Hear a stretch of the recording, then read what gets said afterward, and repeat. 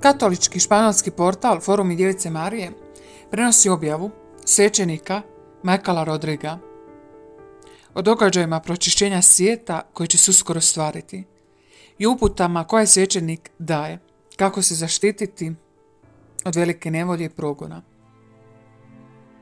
Progora o duhovnoj pripravi te predaj molitvu.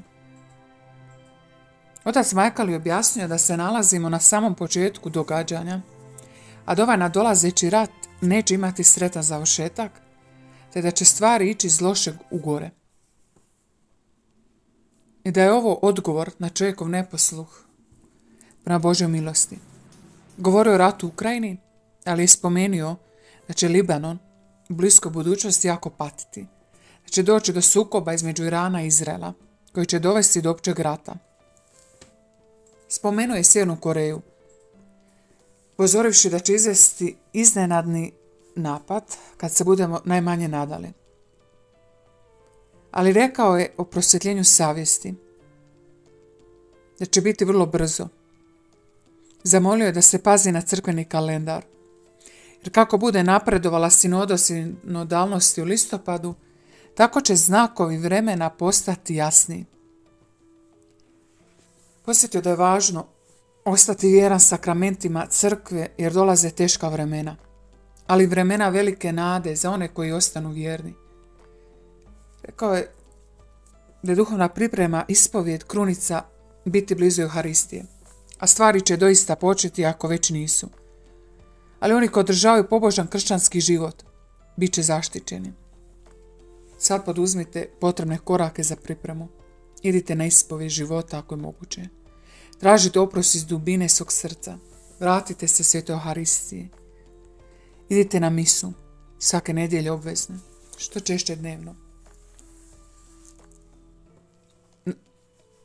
Napustite vulgarnost, a približite se vjeri, govori ovaj svećenik. Molite za neprijatelje, za katoličku crkvu, za svećenike.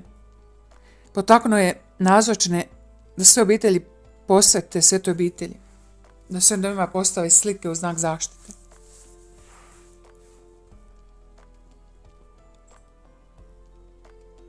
Neka sveta obitelj bude učešište vaše protiv nebeske kazne.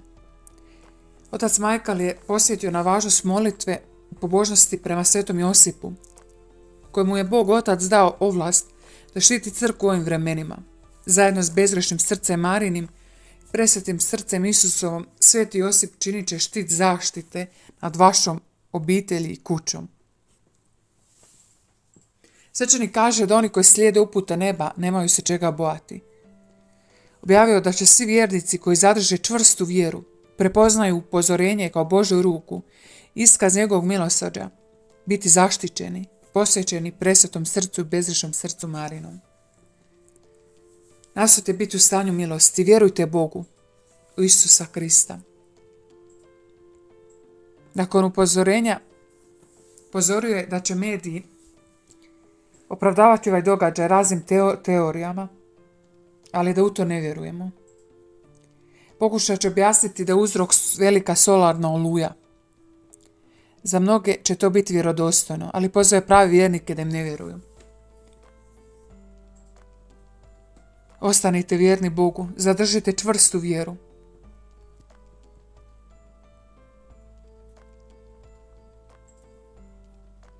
Blagoslovite, posvetite svoj dom vodom i egzorciziranom soli. Služite se molitvama. Također, otac Michael Rodrige preporučio je i molitvu. Bože oče, po tvom ljubljenom sinu koji je prolio svoju krv na križu da nas spasi, posvećujem ti svoj dom i svoju zemlju. O moja obitelj tvoja je, koristi je kako želiš. Posvećujem ti ovu zemlju i dom po zagovoru bezrešnog srca Marina, da bude pod duhom svetim u vrijeme čišćenja. Ovo su informacije koje da otac Michael Rodriguez o događajima koji će se navodno uskoro Ovo objavljujemo na vaše razmatranje. U svakom slučaju dobro je znati ovu informaciju za svaki slučaj. Jeste li već posvetili svoj dom?